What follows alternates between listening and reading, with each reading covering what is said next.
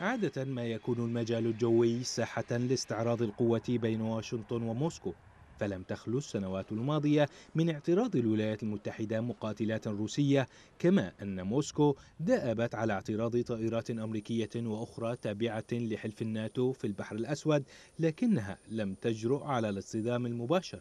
حتى حدوث التصعيد الخطير الذي حبس أنفاس العالم بعدما أسقطت موسكو طائرة أمريكية مسيرة في مياه البحر الأسود عقب تحليقها قرب المجال الجوي لشبه جزيرة القرم التي تسيطر عليها روسيا. الحادثة التي تمثل لحظة محفوفة بالمخاطر تأتي في توقيت تشهد فيه العلاقات بين روسيا والولايات المتحدة أسوأ مراحلها منذ انتهاء الحرب الباردة. وتنذر بدخول الصراع إلى حلقة جديدة من التصعيد. وترى العديد من الأوساط السياسية والإعلامية الأمريكية كصحيفة وول ستريت جورنال في التصعيد الروسي محاولة لتحويل بوتين البحر الأسود إلى بركته الخاصة دون محاسبة حقيقية.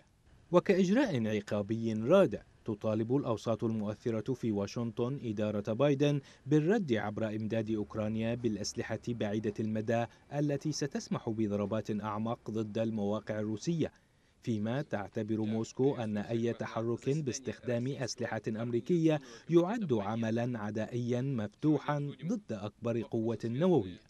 وتتباين المؤشرات حول أسباب التصعيد الروسي الأخير لكنها لن تخرج من إطار محاولة موسكو تجميد الصراع في أوكرانيا مع عدم التوقف عن التلويح باستخدام القوة أو تحذير الغرب من إمكانية الانزلاق إلى صدام مباشر في حال عدم إيجاد مخرج يراعي جميع الشروط الروسية.